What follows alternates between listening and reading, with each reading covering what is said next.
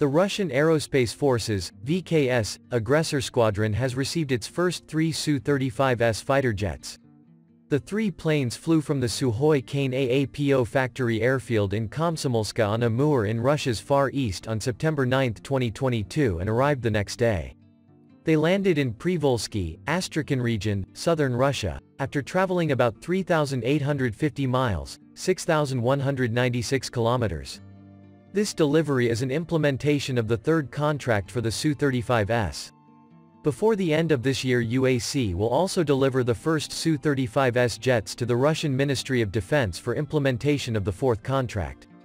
Privolzhsky Air Base near the city of Astrakhan is home to the VKS 185th Center for Combat Training and Combat Applications. The center is tasked with replicating combat conditions, providing realistic training in combat tactics for pilots and other air defense units. The 116th Combat Flight Application Training Center, a component of the 185th Center, is sometimes referred to as the Aggressor Squadron. Aggressor squadrons are designed to expose pilots to high-end training, covering aircraft, systems and operators that offer realistic aerial presentations of potential adversary equipment, tactics and techniques.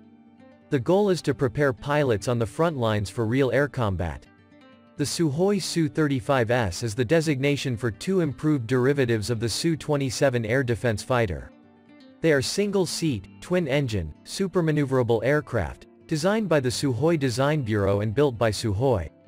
The Sukhoi Su-35S carries a 30mm cannon, has 12 hard points and can detect targets at more than 400 kilometers, while its radar can track up to 30 targets simultaneously.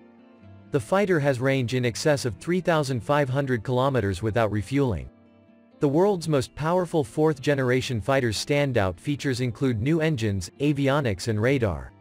Use of high-thrust engines is a significant differentiator of Sukhoi Su-35 from predecessor Su-27 family jets. The new engines were developed by NPO Saturn, a UEC subsidiary, and are known under the 117S designation.